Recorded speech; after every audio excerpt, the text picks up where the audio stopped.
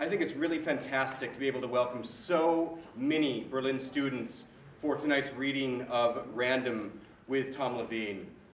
Welcome to the U.S. Embassy Literature Series. This is our second reading this fall, and we're glad to be back in the English Theater Berlin. So the entire book takes place over the course of about eight hours with Tori on the phone with this guy, trying to figure out, well, number one, trying to keep him alive. Number two, trying to figure out if he is who he says he is, or if he's somehow connected to Kevin and the whole case. Is he after something? Is it a prank? Is it some kind of vengeance? She doesn't know, so she has to keep him on the phone, keep him talking, and find out what exactly is happening. Uh, how do you personally use social media? Um, actually, I use WhatsApp since I don't know since three years. But I was in Brazil for one year, and there it's like a much bigger thing. Well, I think people actually need to stand up for people who are bullied in the internet or anywhere, and that whenever you see somebody being bullied online, you actually have to do something and not just let it happen and be responsible for what you post online because sometimes it can hurt people and you don't even know it. I just want to ask you a few questions, Victoria. This one reporter keeps shouting through our closed door. Her name is Allison Summers.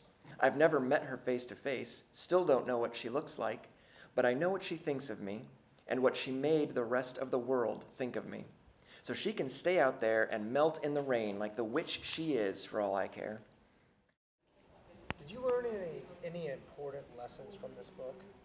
Well, I wasn't really aware of cyberbullying that much before I uh, heard of the book because I didn't experience it myself a lot.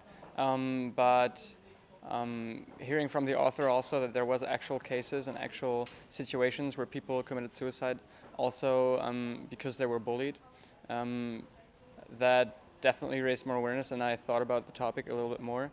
And I also um, learned tonight that um, words can be really harmful. I never thought about it that much, I think, uh, what, what power lies in words. I really like the statement of uh, Tom Leveen that Gandhi and um, Martin Luther King Jr. only used words and didn't um, fight or anything to achieve their goals. So, yes. How do you think that cyberbullying can be prevented? Um, I think that people have um, must be informed, like in any kind, not only if you are bullied, but also if you are a bully, because mostly uh, you just don't know how to deal with it, and the majority usually thinks, "Oh, I've never faced it," and so they don't know. Uh, and if we are informed, if we know what we can do, we can prevent uh, cyberbullying and bullying as it is very good. Mom's forehead, already creased, tightens. What, Tori? Ah, nothing, I say, and get up. I'm not very hungry. Mom doesn't say anything, so I go to my room and close the door. Maybe I should just plead guilty tomorrow. Maybe that'll make everyone happy. Chapter one.